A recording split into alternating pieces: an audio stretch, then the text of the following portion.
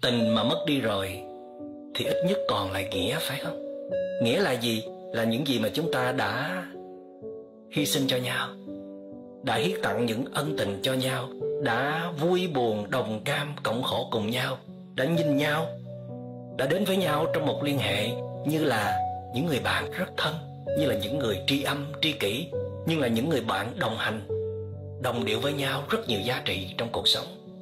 Nhờ nghĩa mà chúng ta mới giữ được liên hệ lâu bền. Nhưng mà nếu tình đã yếu, mà nghĩa cũng chẳng là bao nhiêu, thì chắc chắn là liên hệ đó trở nên rất là nặng nhọc.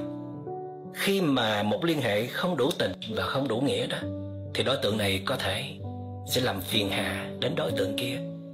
Các em thử nghĩ khi mình sống chung một người, mình phải va chạm với một người, mình phải chung đụng với một người, mình phải chịu trách nhiệm cho một người mà mình không thể đón nhận bất cứ sự ngọt ngào, êm dịu, hấp dẫn nào. Từ nơi đối tượng đó, thì em có thể sống chung với người đó lâu bền được không? Đó là chưa nói. Trong người kia có rất nhiều vấn đề. Mà phải tới khi cái tình nó lắng dịu xuống, cái nghĩa nó chưa được hình thành thì những vấn đề đó nó mới bước ra. Những vết thương từ trong quá khứ của người kia sẽ bước ra những thói hư tật xấu trong người kia sẽ bước ra. Những năng lượng tiêu cực nằm trong sâu thẳm tâm hồn người kia sẽ bước ra. Bản ngã to đùng của người kia cũng sẽ bước ra. Mà em cũng đâu vừa.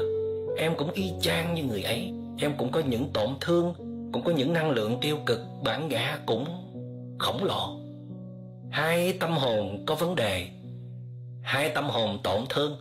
Hai tâm hồn yếu đuối mà đồng hành cùng với nhau trên con đường tình, thì em nghĩ rằng chuyện gì sẽ xảy ra chắc chắn là sẽ làm tổn thương nhau. Trong tình yêu, người ta đã làm tổn thương nhau biết là bao nhiêu. Vì sao?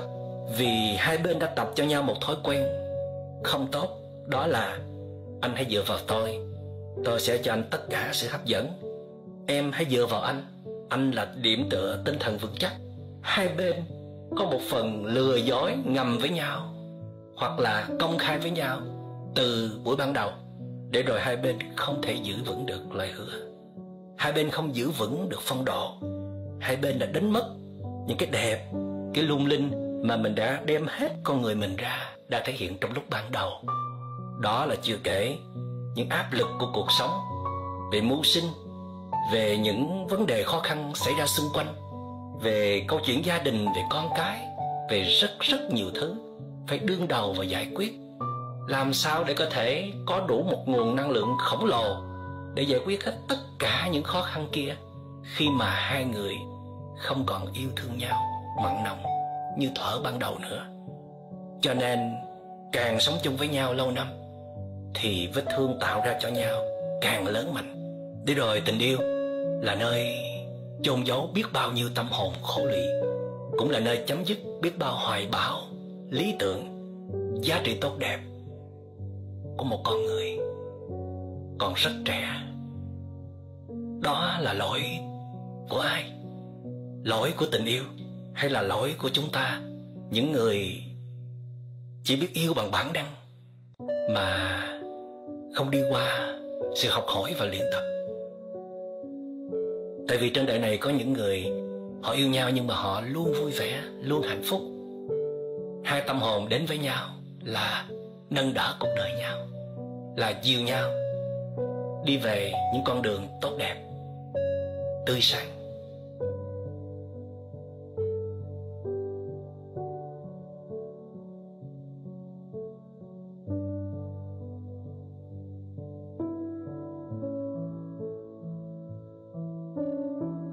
Người xưa có nói, mình với ta tuy hai mà một, Ta với mình tuy một mà hai.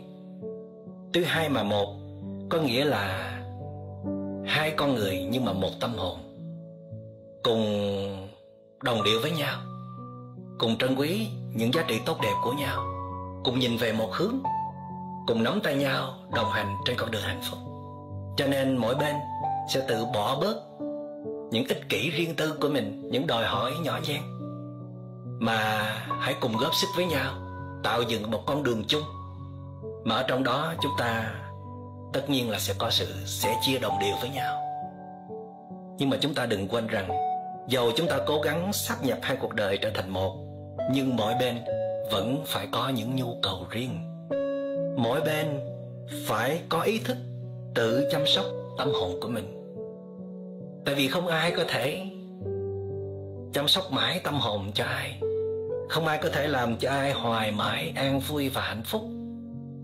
Đó là chưa kể mỗi bên có những vấn đề, có những vết thương, có những nỗi khổ niềm đau. Mà chính chủ nhân của những vết thương, của những khổ đau đó mới có thể chữa lành được. Thì thay vì chúng ta cứ quấn vào nhau, lệ thuộc vào nhau, dựa vào nhau rồi đến mất cuộc đời của bản thân, thì có lúc chúng ta cần phải được tách ra khi chúng ta tách ra thì chúng ta sẽ trở về chăm sóc khu vườn tâm của mình. Tự mình nhổ cỏ dài tự mình trồng hoa thơm, trái ngọt. Để rồi khi chúng ta sắp nhập lại, thì chúng ta sẽ có những giá trị tốt đẹp để dâng tặng cho nhau. Dĩ nhiên là trong một liên hệ tình cảm, thì phải có sự nâng đỡ qua lại lẫn nhau. Em ngã thì anh nâng, và anh ngã thì em cũng có thể nâng. Nhưng mà nếu em chưa ngã thì đừng có bắt anh phải nâng hoài em ổn mà. Tại sao em không dựa vào em? Để tự tạo niềm vui, hạnh phúc. Rồi khi nào em không thể làm điều đó nữa, hoặc là khi nào chúng ta đủ duyên, thì chúng ta sẽ hợp lại để tạo những niềm vui hạnh phúc chung. Và anh cũng vậy. Anh không cần phải lúc nào cũng chăm bẩm hướng về em, canh me em, hay là dò xét em. Anh cứ sống cuộc đời của anh. Anh lo chăm lo công việc. Anh xây dựng các mối liên hệ tình cảm gia đình của anh với bạn bè của anh anh hướng tới những hoài bão lý tưởng trong cuộc đời của anh. Và trong khi đó, anh sẽ tạo ra rất nhiều năng lượng an lành, mời lên nhiều giá trị tốt đẹp để khi anh gặp em, thì anh có những món quà quý giá để trao tặng cho em. Một liên hệ tình cảm mà được thiết lập trên cái nguyên tắc như vậy, mỗi người phải tự chịu trách nhiệm chính cho cuộc đời mình. Khi nào cần kiếp lắm, khi nào hết chịu đựng nổi, thì mới nhờ đến sự nâng đỡ bên kia. Và khi mình có những khó khăn khi mình có những nỗi khổ niềm đau là phải tự động quay về để chữa lành vết thương của mình trước.